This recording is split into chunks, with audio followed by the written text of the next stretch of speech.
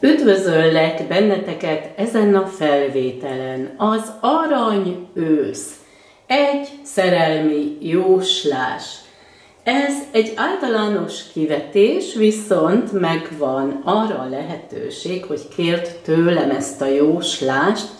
Ez most akció, megkapott fele áron a szerelmi jóslást, és ehhez az asztrológiát, ahol összehasonlítom kettőtök horoszkópját az indiai asztrológia szerint.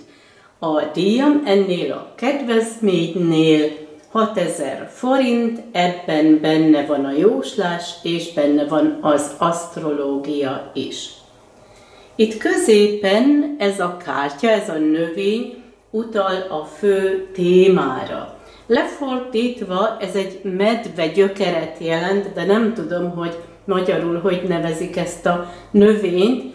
Az imént kerestem a Wikipédiában, hogy hogy nevezik ezt magyarul, de nem mutatta ki, úgyhogy nem tudom. Ha ismered a nevét, akkor leírhatod a kommentárba. Lefordítva egy medvegyökeret jelent. És mi a jelentősége ennek a növénynek, mi a központi téma? Ez az élet, erő és a szív. Természetesen van gyógyító hatása ennek a növénynek, de ami a jóslást illeti, most meg lesz az erő és a szív, tehát a szerelem áll a középpontban. Itt ez a kislány utal a gondolatokra. Ez lehet egy gyermek, vagy egy kisbaba születése, de jelent ártatlanságot, szép gondolatokat, vagy utal egy új kezdetre. Itt alul a madarak jelentik az érzelmeket. Itt megvan a könnyűség, sőt a művészetek, az éneklés, a zene, a tánc, az örvendezés, azon kívül a madarak szimbolizálják a kommunikációt. Beszélni fogtok érzelmekről, a szív ügyről, egy új kezdetről.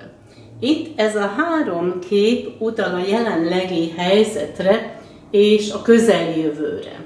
Itt ez a férfi áll a középpontban. Lehet, hogy azért, mert te gondolsz rá, de azt is jelentheti, hogy ő irányítja a dolgokat. Itt a hold jelenti az érzelmeket kettőtök között, a vágyakat, az elképzeléseket, az álmokat.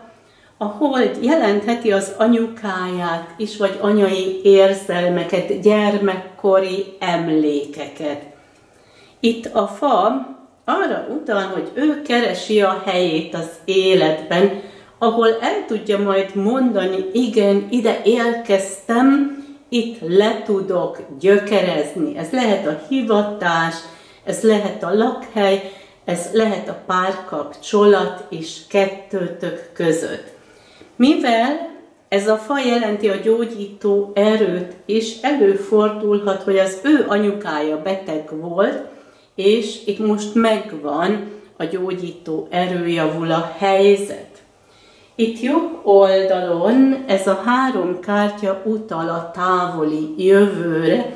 Itt a könyv jelentheti az ő tudását, a te tudásodat, a továbbképzéseket, vagy iskolát, akkor összefüggésben van a gyermekkel, de ez a könyv jelentheti a titkokat, vagy az ő zárkózottságát is, amikor nem tudod, hogy mit akar.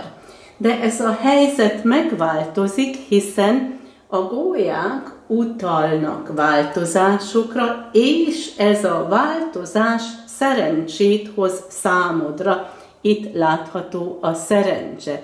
Ez a kártya utal a négyes számra is, az lehet négy nap, négy hét, négy hónap, de mivel itt a kártyák a távolabbi jövőre utalnak, akkor az azt jelenti, hogy négy hónapon belül lesznek itt nagyobb változások.